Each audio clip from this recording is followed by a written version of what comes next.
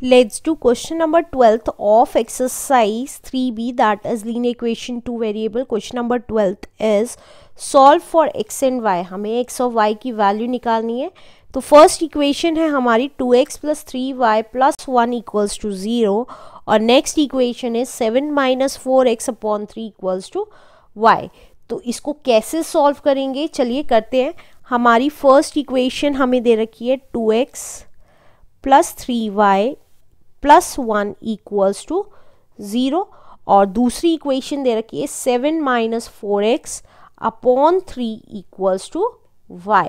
अब देखिए, इस वाली इक्वेशन में ये जो कांस्टेंट है वो हम राइट हैंड साइड ले आएँगे तो हमारी ये हमारी फ़र्स्ट इक्वेशन हो गई और ये हमारी सेकेंड इक्वेशन हो गई। तो ये क्या बन गया? सबसे अच्छा तरीका कांस्टेंट हमेशा राइट हैंड साइड लेके आया करें।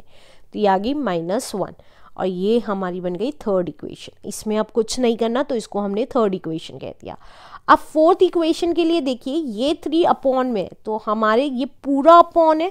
जब ये पूरा अपॉन होता है तो ये थ्री को इधर भेज देते हैं। लेकिन अगर ये सिर्फ़ सेवन के नीचे होता तो हम पहले एलसीएम निकालते राइट तो अब हमारा थ्री इधर था तो हमने इसको उधर भेज दिया। तो ये आया seven minus four x equals to y into three ये हमने थ्री इधर भेज दिया। तो ये आ गया seven minus four x equals to three y और हमने x और y की टर्म्स एक साइड लेनी होती है तो हमने अब फोर एक्स को उधर भेज दिया।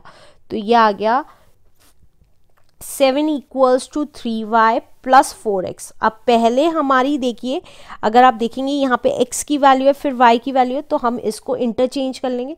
प्लस साइन इसका इसके साथ ही रहेगा। तो हम ये लिख सकते हैं four x plus three y equals to seven ये हमारी आ गई फोर्थ इक्वेशन राइट अब देखिए थर्ड इक्वेशन आई थी two x plus three y equals to minus one ये हमारी थर्ड इक्वेशन आई थी और फोर्थ इक्वेशन आई थी four x plus three y equals to seven ये हमारी फोर्थ इक्वेशन आई थी।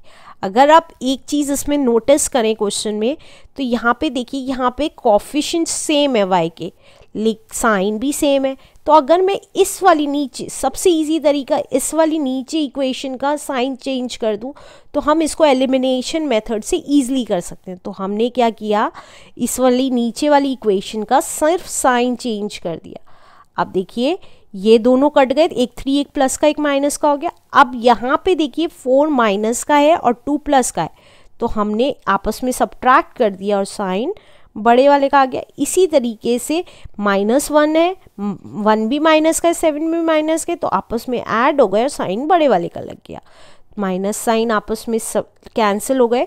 तो एट अपॉन टू आ गया दैट मीन्स एक्स की वैल्यू आ गई फोर फोर अब हमने इसको थर्ड इक्वेशन में रख दिया। Putting x equals to four in equation third तो ये कितना आ गया?